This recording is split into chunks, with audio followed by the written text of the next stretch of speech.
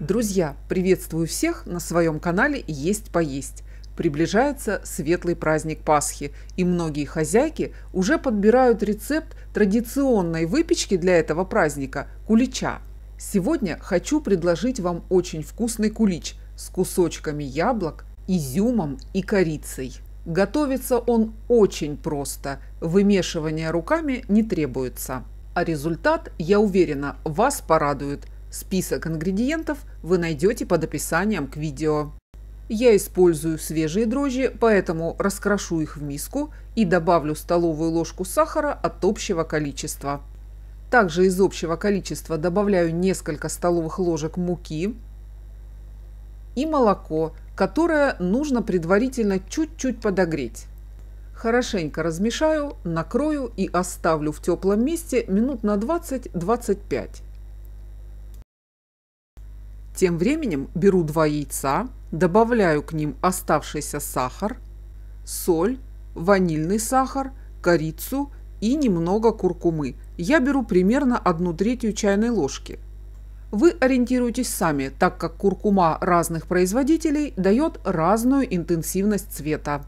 Сюда же растопленное и остывшее сливочное масло и коньяк или ликер. Помним, что спирт улетучивается при нагревании. Хорошенько все размешиваю. Тем временем опара у меня готова. Перекладываю ее в яичную смесь и размешиваю. В несколько этапов добавляя муку, замешиваю тесто. Оно должно получиться таким, довольно-таки жидким. Повымешиваю его ложкой пару минут. Готовое тесто накрою и оставлю в теплом месте на полтора часа. Тем временем очищу яблоко от кожицы и сердцевины и порежу его некрупными кубиками.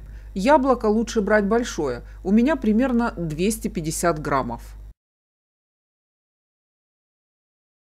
В сковороду кладу кусочек сливочного масла и туда же отправляю яблоки. Добавляю 1-2 столовые ложки сахара, можно положить ванильный сахар и корицу. Теперь все нужно как бы обжарить, чтобы выпарилась лишняя жидкость. При этом внутри яблоки должны оставаться хрустящими. Ну вот, посмотрите, кусочки остаются плотными, но в то же время такими сглаженными. В готовое тесто выкладываю остывшие яблоки и предварительно промытый и обсушенный изюм без косточек. Аккуратно размешиваю, тем самым обминая тесто. Выкладываю тесто в две формы. Они у меня диаметром 13,5 см, а высотой 9,5 см. Конечно же, можно взять любые другие подходящие формы. Только помните, что тесто должно занимать не более половины формы. Далее накрою и дам постоять еще минут 30. После этого отправляю куличи в разогретую до 180 градусов духовку на 40-45 минут – Разумеется, время выпечки зависит от размера куличей и от особенностей вашей духовки. На готовность просто проверяйте деревянной палочкой. Остается только хорошо остывшие куличи смазать глазурью и украсить. Я использую желатиновую глазурь. Ссылку на рецепт вы сейчас видите в правом верхнем углу.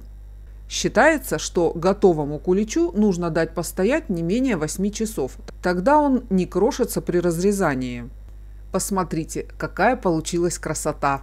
Кулич очень мягкий, такой пружинистый, с нежной волокнистой структурой и особую прелесть этим куличам придают кусочки ароматных яблок, которые, кстати, остаются хрустящими. Количество яблок берите на свое усмотрение, ведь можно добавить и больше, что придаст выпечке еще большей сочности. Если вам понравился этот рецепт, не забудьте поставить лайк и обязательно напишите комментарий. Смотрите на моем канале и другие рецепты не менее вкусной и оригинальной пасхальной выпечки.